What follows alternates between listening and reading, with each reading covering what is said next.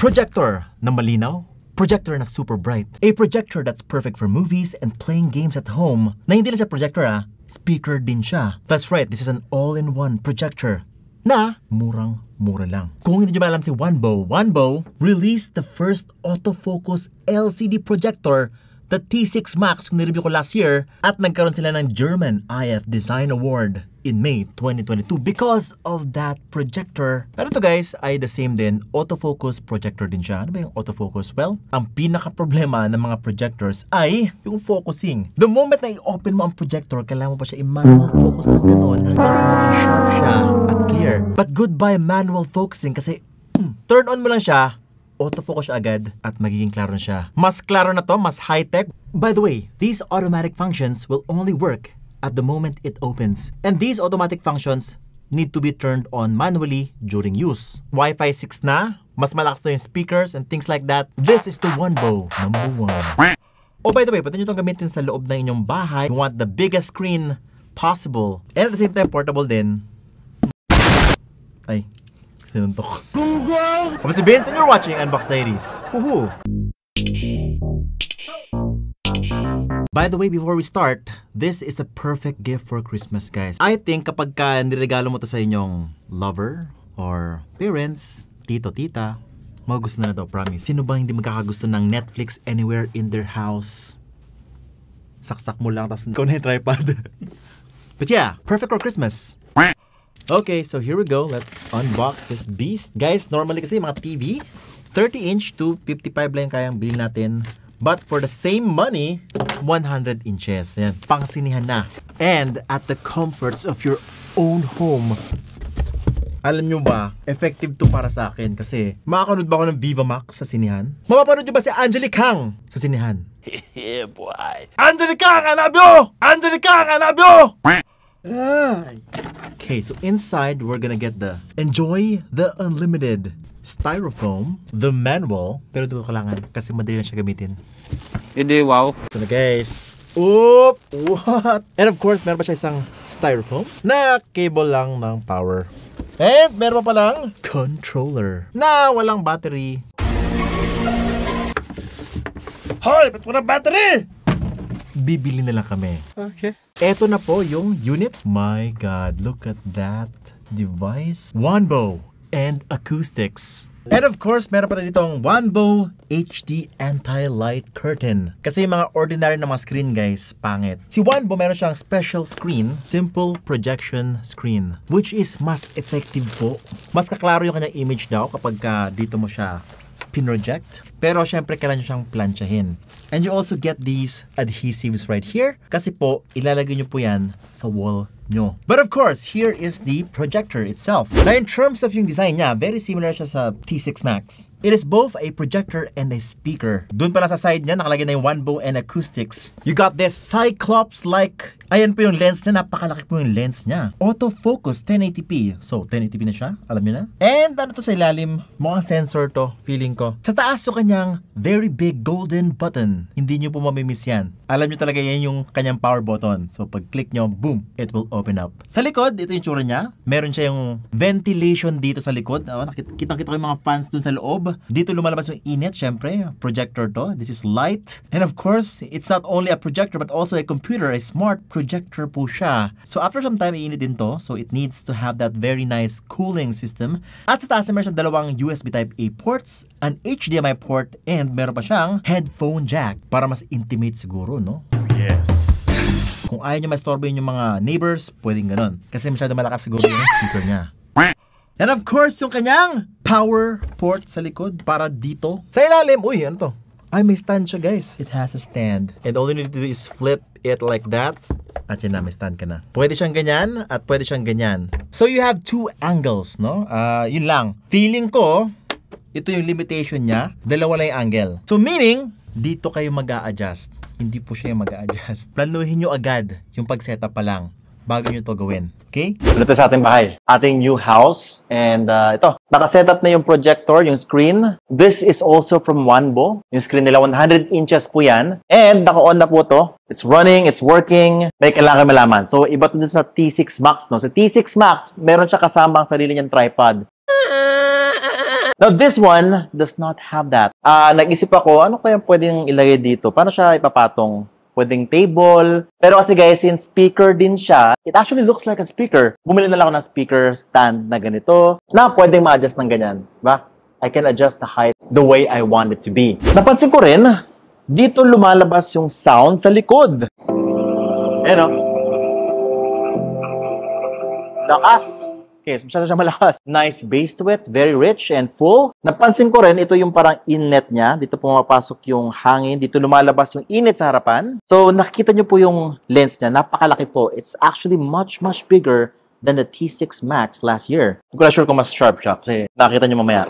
Far, in terms of yung design, yung size, very compact naman siya. Nakukulangan na lang ako dun sa hawakan. Wala siyang hawakan, guys. But I don't think they designed this to be something na compact. Kasi kung meron man siyang on-the-go features, like for example, yung hawakan, Ah, meron siyang mga thread sa ilalim. Wala po siyang thread sa ilalim for a tripod. So, feeling ko lang, is ipapangbahay talaga siya kung home usage. And, napansin ko rin, dalawang angles lang ang pwede dito. So, pwede siyang ganyan at pwede siyang ganyan. Wala actually, mas maganda siya merong angle na ganyan. Nakita nyo ba yun? Nakita nyo ba yun? So, the moment na iniba ko yung angle niya, nag-autofocus siya, which is awesome. Tignan nyo ta, this is where the magic happened. Lights off,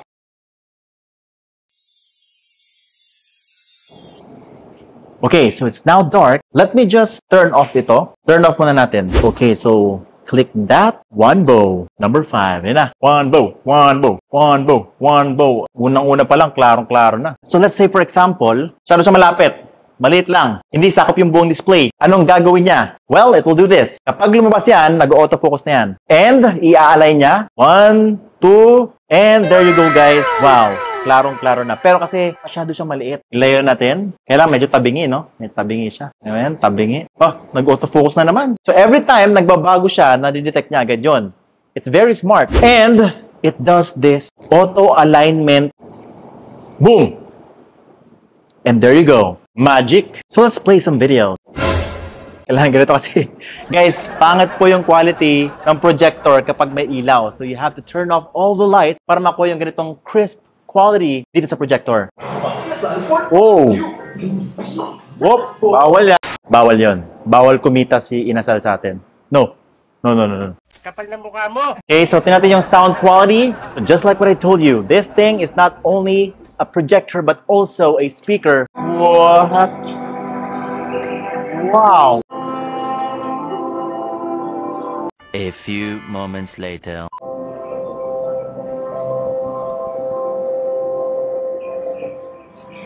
So yan po guys, I'm watching with my friends. Ganda po na experience. Sobrang klaro, ang laki.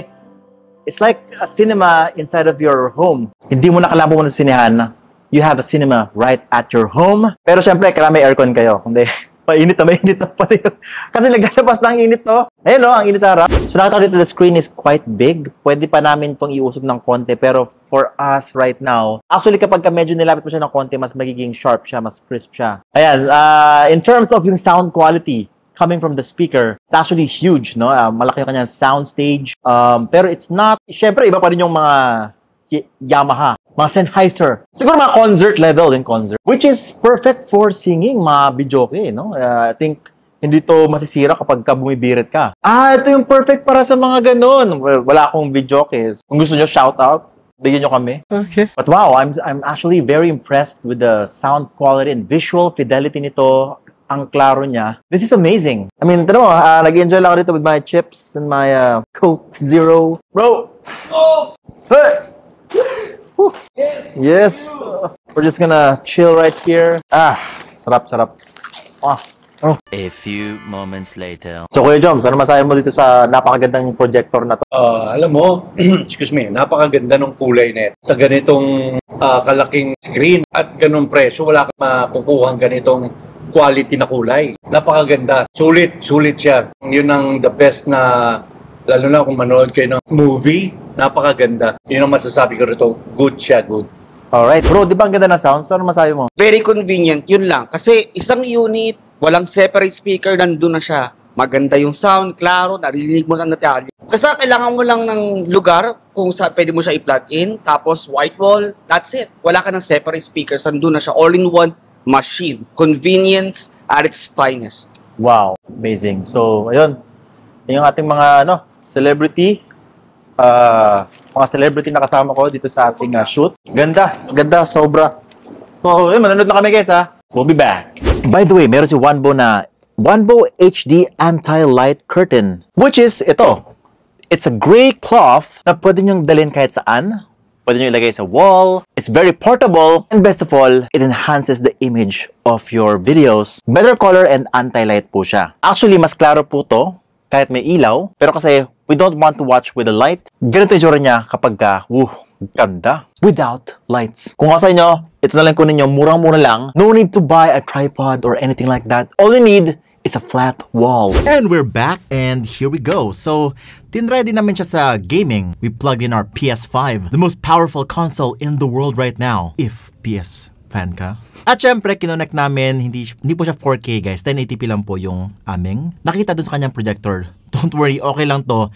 You don't even need the 4K kasi nga, malinaw pa rin siya even though it's projected on a wall. And guys, we found it very immersive when you're playing PS5 console games on this device. Everything just looks massive. Hindi mo na kailangan bumili ng 100 EV na worth 400, 500,000 pesos. Tipid lang, 100 to 120 inches. You can beam the graphics from the PS5 to your projectors through your cloth. And at the same time, di mo na rin kailangan ng speaker kasi nga malakas na yung speaker niya. It's also a speaker at the same time. Minimal setup lang. Tinan mo, ang linis ng table namin. The Wanbo Mozart 1 is a very clear, very bright projector. Meron pa siyang Pixel Pro 5.0, the latest optical machine. Brings you 900 ANSI high brightness dust proofing, and efficient heat dissipation. Meron siyang 5 layers high concentrated optical lens able to support 16 points clear image projecting and it even has 1080p HD support 4K decoding with over 90% DCT-P3 professional cinema level for that real color and clear image quality. At guys, naka Android 9 na po siya na system. Pero kung ako sa inyo, gumamit na kayo ng external streaming device like uh, Google Chromecast and Apple TV. Chromecast na lang. So, ikakabit mo sa likod dun sa HDMI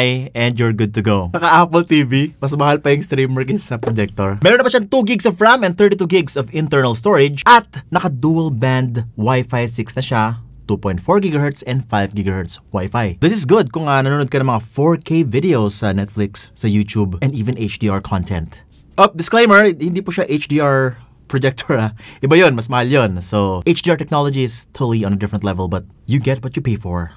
The Wanbo Mozart 1 has the fully auto technology, which is four technologies in one. Meron pa siyang autofocusing, keystone correction, intelligent obstacle avoidance, and auto in screen. Kapag inon mo yung kanyang power button, kahit saan po siya, no? Pag nakita niya po yung screen, pag malabo po siya, i-autofocus niya, magiging sharper po yung kanyang image. From malabo to sharp. Meron din po siyang keystone correction. Kung napansin niyo sa una, medyo hindi siya aligned, tabingi. Hindi po siya perfect na rectangle. Ito po yung ginagawa niya. Meron po siyang automatic correction para maging mas rectangular, mas maayos yung shape ng video. Meron po siyang intelligent obstacle avoidance. This one is very nice. Kasi guys, kahit may obstacle sa side, sa mga gilid-gilid, kaya niyang i-avoid yung mga yun. It will adjust accordingly. Galing no? Ang smart niya. And of course, nakita niyo to, auto in-screen. Kaya niya i-fill yung screen, syempre, i-detect niya muna yan. Once na-detect niya na, na-scan niya na, it will align the content to the screen. Which is ayan na po. Galing no? Wow. By the way, these automatic functions will only work at the moment it opens. And these automatic functions need to be turned on manually during use. At ayan po si Wanbo Mozart 1, the perfect Christmas gift. I mean, pwede naman 'di ba kasi mag-Netflix and chill kayo, do. Wala si wife ngayon. Punta ka sa bahay, meron akong bagong Wanbo Mozart 1. Dumadagundong pa yung sounds. Dumadagundong pa yung sounds. Oh, minaisip ka na, so, ayun. Well, at least nakabenta si Mozart. Ay, Pero guys, let me know guys in the comments below if you liked the Wanbo Mozart 1. And also, if you wanna see more videos just like this one and the mga ganitong devices, mag-subscribe ka lang, hit the bell icon so that you don't miss any of my great content on the bins and you're watching Unbox Diaries. Woohoo!